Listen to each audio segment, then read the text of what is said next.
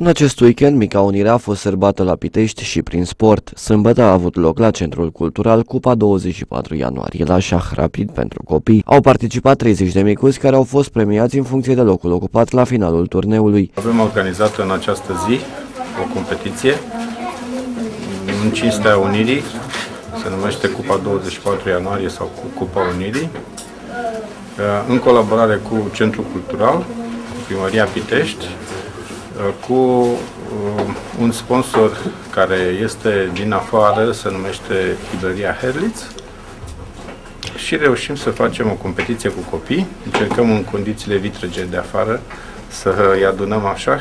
Se pare că e timpul cel mai potrivit pentru a juca așa.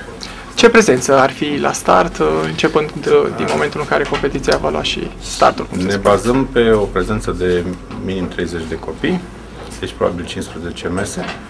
Dar uh, fiindcă sunt condițiile atmosferice așa, de asemenea natură, e posibil să avem ceva mai puțin prezenți. Sunt și premii pentru copii? Da, sunt premii. Uh, cele mai, mari, cele, multe, cele mai multe premii, de fapt, sunt pentru fiecare participant în parte. Niște premii din partea primăriei, mai precis prin reprezentantul dânsei uh, primăriei domnului Gheorghe Dinu. Avem niște pachetele pentru copii, pentru fiecare participant, diplome, tot din acea parte, tot pentru fiecare participant, atât de participare cât și diplome pentru premiile respective.